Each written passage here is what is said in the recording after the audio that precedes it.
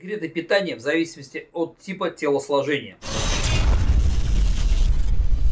Эктоморф. Особенность в том, что ему нужно больше белка, чем остальным спортсменам других типов.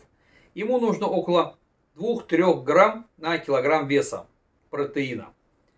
Белка в пище должно быть около 30% всего в рациона. Жиры около 20% и углеводы приблизительно половину. Эктоморфу следует принимать пищу до 6 раз в день средними порциями.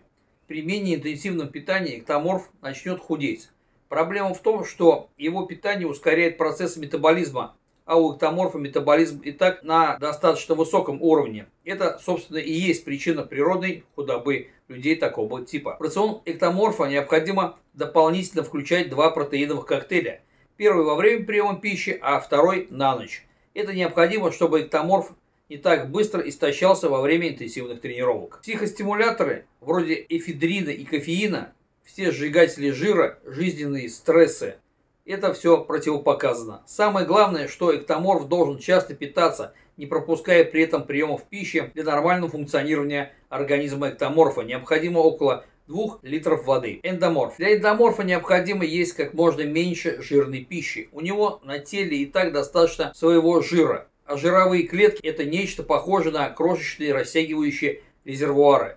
Чем больше жира потребляет эндоморф, тем толще он становится. Правильное питание для эндоморфа дело довольно-таки непростое. Для приготовления пищи нужно использовать только нежирные сорта рыб, постное мясо, яичные белки и молодое куриное мясо, без кожи. Фрукты можно есть только в первой половине дня. Источник углеводов – гречневая крупа, рис и овес. Питаться нужно малыми порциями, около 4-5 раз в день.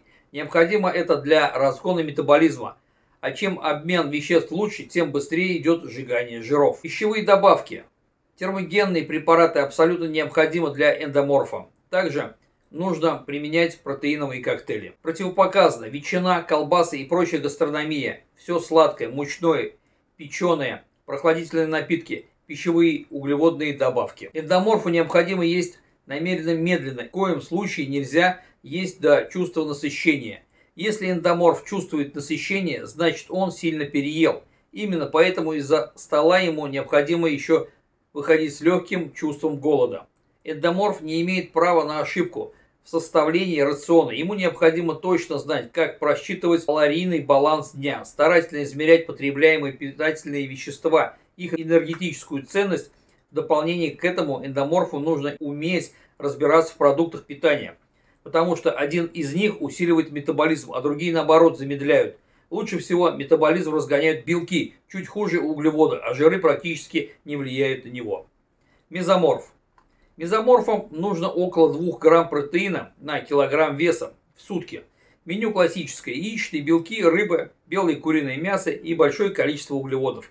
Не меньше 40% от общего объема потребляемых калорий а жиры при этом необходимо ограничить до 15%.